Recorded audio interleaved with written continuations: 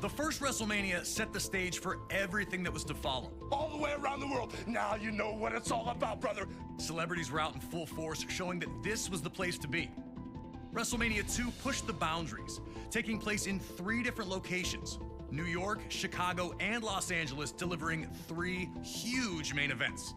But it would be WrestleMania 3 in 1987 that truly displayed WrestleMania's full potential. And for our first match of the 2K24 Showcase of the Immortals, we go into the first verified WrestleMania Classic. The legendary clash for the WWE Intercontinental Championship between champion, the Macho Man Randy Savage, and his challenger, Ricky the Dragon Steamboat. Intercontinental champion since February of 1986, Savage tore through anyone who challenged him. That included a successful defense against George the Animal Steele at WrestleMania 2.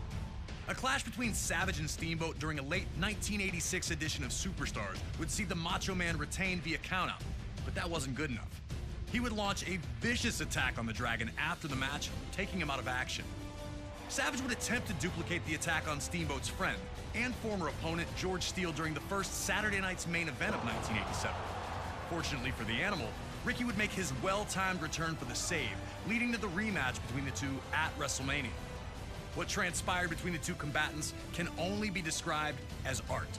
A fast-paced, high-action classic unfolded in front of 90,000 plus in attendance, with both men coming so very close to victory on a number of occasions.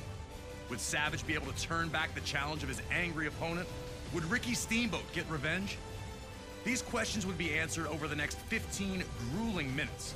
And when it was over, everyone in attendance and those watching at home knew they had been a part of something special.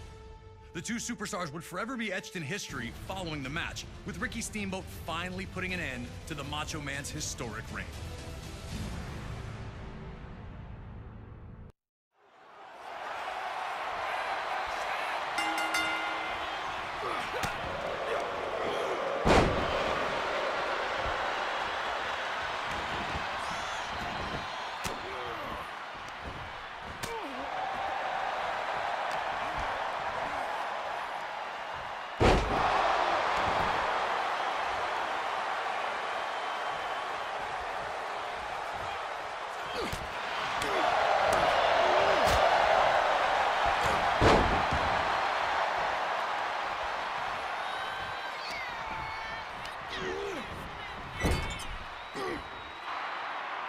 It was all action from the moment the bell rang, and these two didn't give each other a second to rest. Back and forth battle with no one really able to maintain any type of control in the early portion of the match.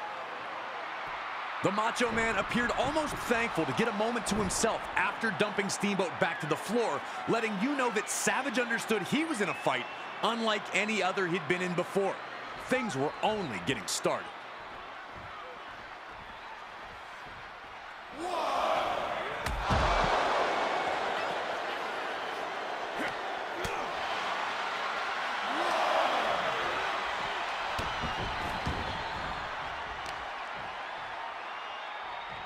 Ugh.